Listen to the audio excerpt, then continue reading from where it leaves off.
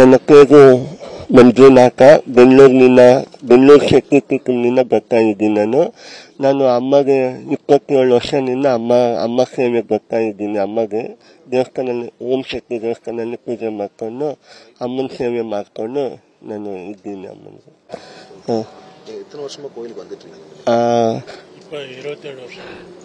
ಇಪ್ಪತ್ತೇಳು ವರ್ಷದಿಂದ ಅಮ್ಮ ಸೇವೆ ಮಾಡ್ತೀನಿ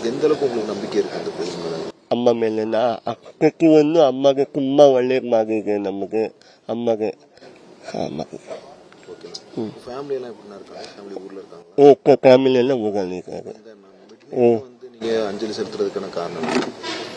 ಏನಪ್ಪ ನಂಬಿಕೆ ನಾ ಅಮ್ಮ ಅನ್ನೋದು ನಾವು ಅಷ್ಟು ಅಮ್ಮ ನಮ್ಗೆ ಅಷ್ಟು ನಮ್ ಏನನ್ನ ಕೇಳ್ಕೊಂಡೇನು ಅಮ್ಮ ನಮ್ಗೆ ಎಲ್ಲ ತುಂಬಾ ಒಳ್ಳೇದು ಮಾಡಿದ್ರು ಹ್ಮ್ அம்மா நாங்கள் வர சொல்ல ஒன்றுமே இல்லாமல் இங்கே வந்த ரொம்ப கஷ்டம் ஒரு கிலோ ரேஷன் அரிசி கூட முடியாமல் தான் நான் இங்கே வந்தேன்.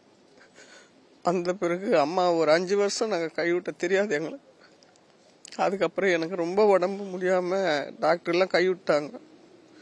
அப்போ இங்கே வந்த பிறகு அம்மா சொன்னாங்க அம்மான்னு நான் இருக்கிறேன். நான் மருந்து சொல்கிறேன் நீங்கள் அதே மாதிரி இருங்கம்மா அப்படின்னாங்க. சரிம்மா அம்மா மருந்து சொன்னாங்க.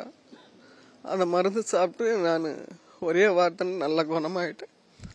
அதில் தான் அதுலேருந்து எனக்கு வந்து அம்மானா இது வந்து மனச்சால் கிடையாது. அம்மா வந்து தெய்வம். எனக்கு நடக்கிறது அம்மா வந்து சரிப்பட்டுட்டாங்க அப்படின்னு சொல்லிட்டு அன்னையிலேருந்து இன்னைக்கு வரல நாற்பத்தி ரெண்டு வருஷமாக அம்மா கிட்டே இருக்கிறேன். அம்மா வந்து என் பிள்ளைங்களை நல்லபடியாக வளர்த்து கொடுத்துக்கிறாங்க. என் குடும்பத்தில் ஒருத்தராக அம்மா இருந்தாங்க. அம்மா இல்லாமல் நாங்கள் இல்லை. என் பேர் சக்தி உமா. நான் சென்னையிலேருந்து வரேன். அம்மா தான் எனக்கு எல்லாமே.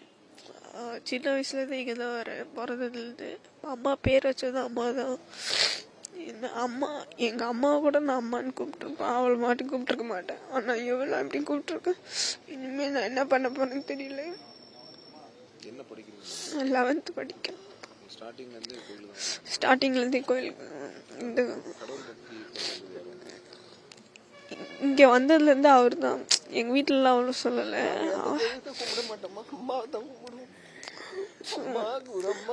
வேற எந்த கோயிலுக்கும் போக மாட்டேன். இங்கே தான் கும்பிடவே மாட்டேன். அம்மா எப்படி இருக்க போறேன்னு தெரியல.